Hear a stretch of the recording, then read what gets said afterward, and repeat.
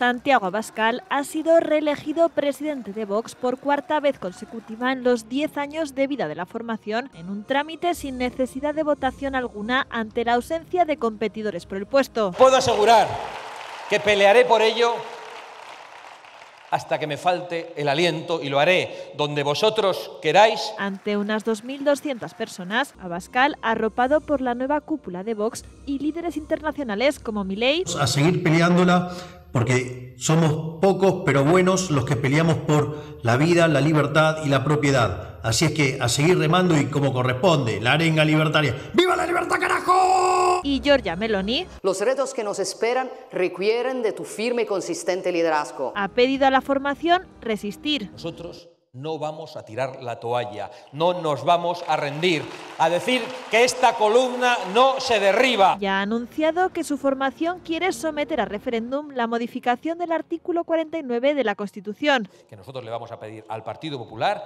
y a otros diputados del Grupo Mixto que por favor acepten que los españoles sean los que decidan sobre algo tan importante como una reforma constitucional. Junto a Bascal se ha ratificado al nuevo Comité Ejecutivo Nacional y así el actual secretario general Ignacio Garriga se queda como único vicepresidente, mientras que relega como vocales a los otros tres que había, el portavoz en el Ayuntamiento de Madrid Javier Ortega Smith, el líder del partido en Bruselas Jorge Buxade y la diputada Reyes Romero.